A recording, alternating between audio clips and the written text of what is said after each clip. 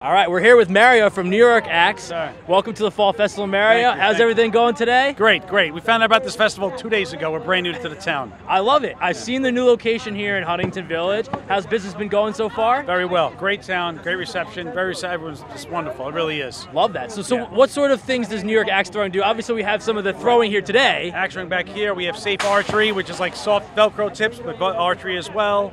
The main difference from our range is everything's not really like this; it's digitized. Okay. So we'll have tic tac toe, we'll have kill the zombie, we'll have the standard targets. So the game keeps going, it keeps changing. So you, you get very engaged in it. It's fun. Yeah, we got a small bar in the range as well.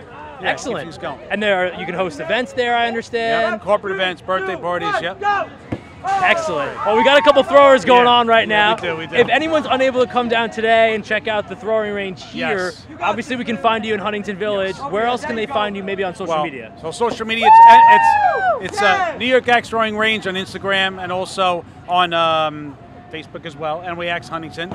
We're local. The new location is 325 Main Street in Huntington. We also have Farmingdale and Selden. Wow. Well, thank Yeah. you so much for taking the time to chat Cool. with us today. Yeah. We'll definitely be stopping by to check out the Huntington location. Awesome. Thank you. and we'll you. enjoy uh, enjoy the rest of the day here. Very cool. Thank right. you. Good day.